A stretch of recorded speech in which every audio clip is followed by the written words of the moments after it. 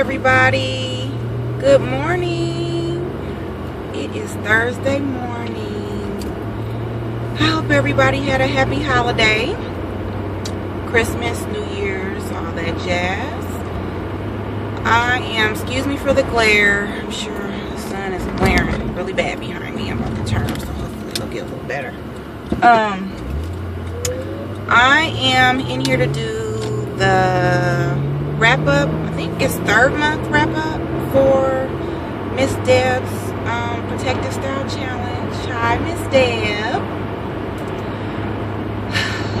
You guys, this is probably gonna be this month, maybe the next video. I don't have a whole lot to report for a couple reasons this past month. Um, I won't get into it, but I had UFE.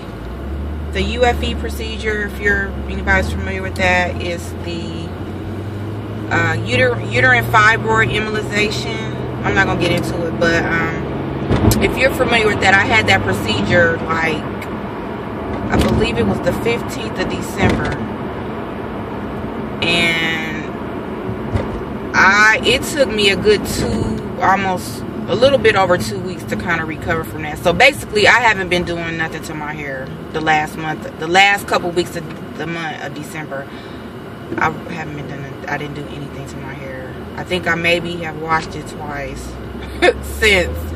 Um, I really didn't start feeling my back to myself till around New Year's, probably about 30, 31st um, of December so yeah my hair is in need of some oh shoot there's an ambulance behind me. Oh, oh i gotta pull over. Um anyway sorry you guys. Um so yeah i haven't been doing anything. I, it's been protected but you guys know me and my buns. Bam boom easy breezy.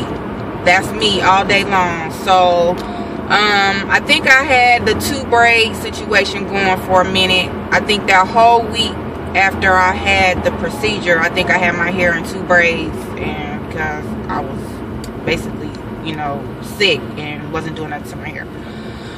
Um, I have a couple pictures. I did a couple little updo bun situations. I mean, nothing special. Kind of a high.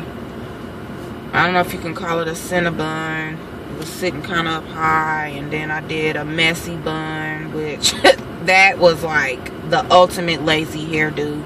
I think I took a picture of that. Um I did find this cute little um afro puff that I've been wearing kind of to the back low. Um I have been looking for one a medium size one because I have two but they're big. Like they cover your whole head. But I was kind of on the search for a medium size one so I kind of do a little different, you know, things with that. So I got a couple pictures of that. But other than that, you guys, that is it. Um, what did Miss Dale want us to do? I think she wanted us to, to do something to our hair, examine our hair for the moisture, which, again, my hair is really in need of some TLC. And I plan on doing, I'm going to try to do something to it tonight. I don't know if I'm going to have time but if not, definitely this weekend, I'm going to do the whole gamut. Uh, deep condition, steam. I'm going to do the whole nine to my hair. Protein, I need a protein treatment too. So yeah, and then I don't know. I want to put some twist in just with my own hair. I think I did that. Was it last month? A couple months ago? Um, I think I left them in maybe three or four days. I don't know. I'm going to see how I feel this weekend with that. But I am going to wrap this video up because I do not want it to be too long and I'm almost to the uh, train station anyway. So I just wanted to do this video because I know I am so far behind on getting it out. But I hope everyone had a happy and safe New Year holidays and ready for 2014. Make big things happen in your life. If you got goals, go out and get them and leave all the mess behind if you can. Try to mend relationships if they mendable if that's what you want to do and you know we're gonna do it in 2014 so thank you guys for watching. See you in the next video